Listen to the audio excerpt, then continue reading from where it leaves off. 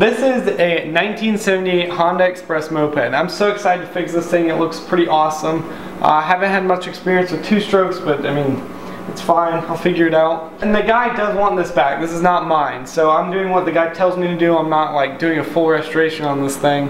And um, hopefully I can get it running.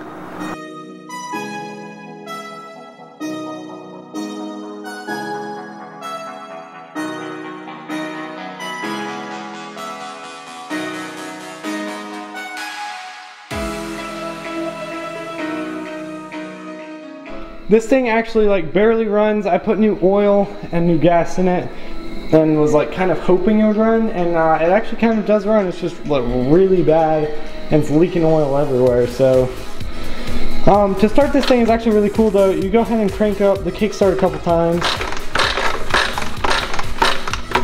until it stops and then you grab the handle and it tries to kick it over. So I'm gonna go ahead and kick this thing over.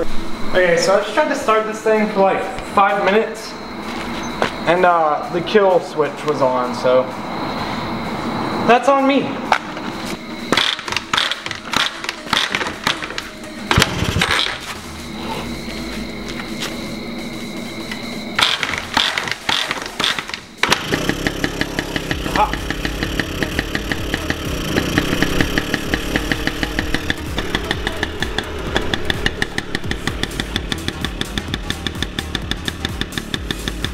Uh, it's really, it's like really smoky. I got a flashlight, like you can see like the beam. That's how smoky it is.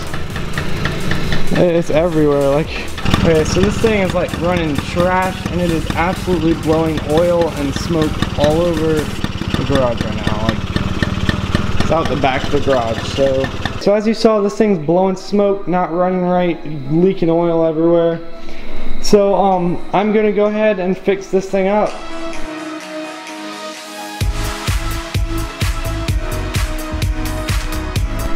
Hey, I'm gonna set up a light here just so it's a little easier for y'all to see what I'm doing. Okay, so it actually looks like someone's been in this car before. There was one new screw and one completely stripped out. So someone's tried to do this before. I don't think they knew what was happening. And uh, it actually doesn't look that bad on the inside. I'm still gonna go ahead and take this whole thing apart and clean out all the jets because uh, there's obviously some like okay so these jets aren't removable so I'm just gonna have to clean them in the carb. So I'm just sticking a guitar string in them just to clean them out. And uh, that normally works pretty well. And uh, I don't know if you can see the string or not but it's like going all the way through so that jet's clean. And then the pilot jet is up next. This thing is probably destroyed because it was not idling like whatsoever. It would just die when you took the choke off, so both these were probably clogged. Now that you can see through all the holes on this thing, uh, except for the pilot jet, that thing's just too small to show up on camera, but I can see through it. I'm gonna go ahead and clean out the bowl and put this thing back together and see how it runs.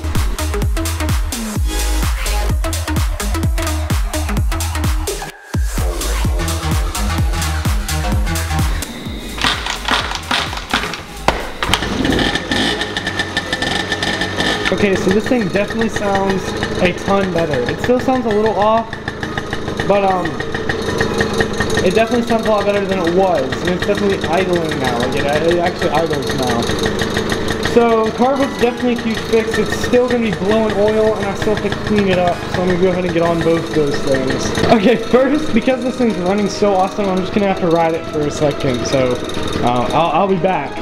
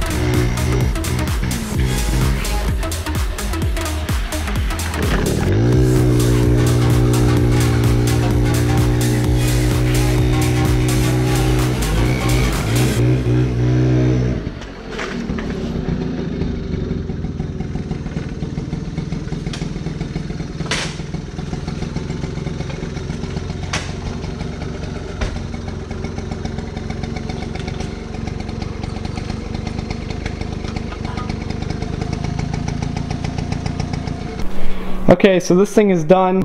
Speedometer's working, lights working, it runs first kick every time. Everything's clean, it's got new oils, and it's not leaking anything. But uh, this was so fun. I actually think I'm gonna buy an old moped. Not maybe not like this exact one, but like I'm looking at old mopeds to buy and do a full restoration on. So hopefully that's in an upcoming video. And uh, that's basically it.